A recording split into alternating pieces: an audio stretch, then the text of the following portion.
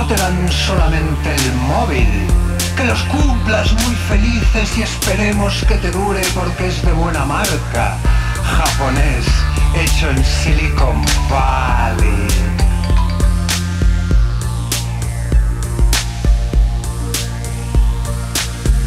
Te regalan la necesidad de actualizar sus aplicaciones la obligación de llenar su batería para que siga siendo un móvil.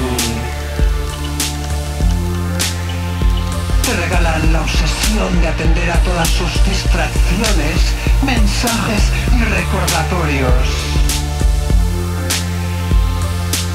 Te regalan el miedo a perderlo, a que te lo roben o que se te caiga al suelo y se rompa.